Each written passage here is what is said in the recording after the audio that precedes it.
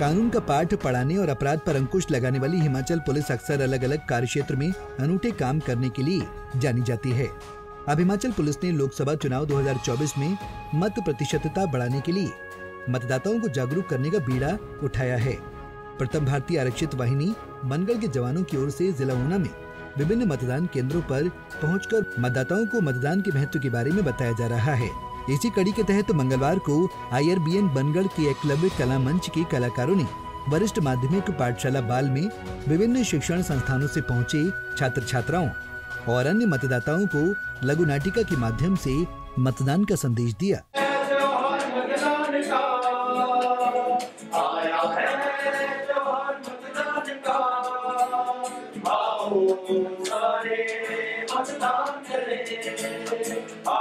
आओ सारे मतदान करें आया है त्योहार मतदान का आया है त्योहार मतदान का आओ सारे मतदान करें आओ सारे मतदान करें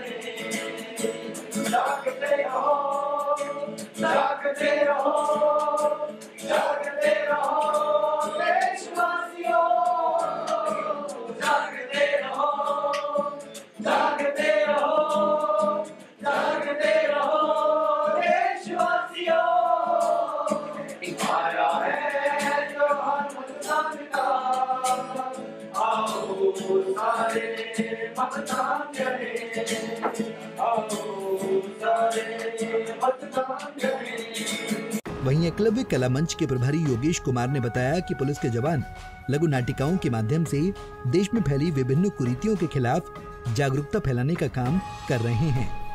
उन्होंने बताया कि जिला प्रशासन द्वारा भी मत प्रतिशतता बढ़ाने और लोगों को मतदान का महत्व समझाने के उद्देश्य से जागरूकता कार्यक्रम करने की जिम्मेवारी उन्हें सौंपी गई है।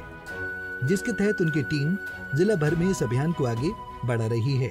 हमें डीसी ऊना, जो हमारे चुनाव अधिकारी हैं, उनकी तरफ़ से स्वीप कार्यक्रम के तहत आदेश मिला था कि हम जो फ़र्स्ट आईआरबी बनगढ़ का जो ये ग्रुप है, ये राज्य स्तरीय और जिला स्तरीय जितने भी हमारे कार्यक्रम होते हैं, उनमें विशेष जितने भी हमारे सामाजिक बुराइयाँ हैं, उनको लेकर नुक्कड़ नाटकों के माध्यम से जागरूकता करता आ रहा है। तो इसी कड़ी में हमें ये काम मिला है कि हम जो आने वाले लोकसभा चुनाव हैं, उनमें जो कम प्रतिशतता वाले मतदान स्थान हैं, उनको चिन्हित किया गया है, जो भी हमें आदेश मिले हैं तो उनमें हमें नुक्कड़ नाटकों के माध्यम से जो भी चुनाव प्रक्रिया के दौरान डू एंड डोंट्स हमें लोग जो अपना चुनाव आयोग द्वारा बताए गए हैं उनको हमने अपने नुक्कड़ नाटक के माध्यम से कवर किया है। तो ये करीब 18 मिनट का नुक्कड़ नाटक है जिसमें आज हमने बॉय स्कूल ऊना में ये नाटक प्रस्तुत किया। धन्यवाद। इस नाटक के माध्यम से क्या कुछ दर्शाने का प्रयास इस नाटक के माध्यम से हमने जो भी चुनाव में जैसे कुछ नशा इत्यादि देकर लोगों को बहकाया जाता है। या जैसे कुछ लोगों का रुझान नहीं है वोट डालने के प्रति, जैसे घरों में बैठे रहते हैं तो एक कुछ अपाहिज लोग हैं, वो भी उसमें लोगों को प्रोत्साहित करते हुए दिखाई दे रहे हैं कि हमारे लोकतंत्र का एक एक वोट जो है महत्वपूर्ण है। क्योंकि लोकतंत्र एक इमारत की तरह है, जिसमें एक ईंट भी कम होगी तो वो इमारत जो है, वो उसमें कमी रह जाएगी। तो इसी तरह से ज़्यादा से ज़्यादा वोट डालने को प्रेरित किया गया है। वहीं स्वीप कार्यक्रम के जिला नोडल अधिकारी नरेंद्र कुमार ने बताया कि जिला ऊना में 70 फ़ीसदी से कम मतदान वाले इक्यावन मतदान केंद्रों को चिन्हित किया गया है और इन्हीं मतदान केंद्रों पर मतदान प्रतिशतता को बढ़ाने के लिए मिशन इक्यावन शुरू किया गया है।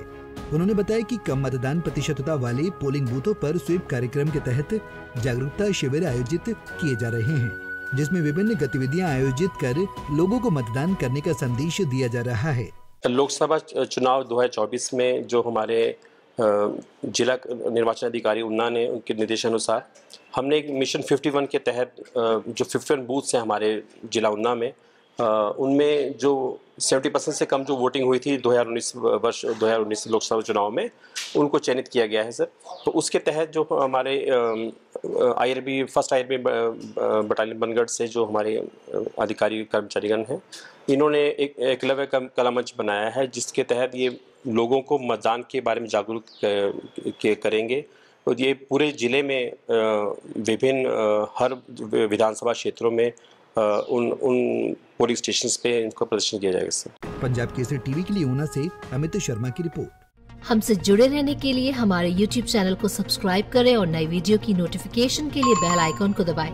अगर आप ये वीडियो Facebook पर देख रहे हैं तो लाइक ज़रूर करें और ज़्यादा से ज़्यादा शेयर करें। इसी तरह के और भी अपडेट्स के लिए फॉलो करें हमारा Instagram page Himachal dot Kesari.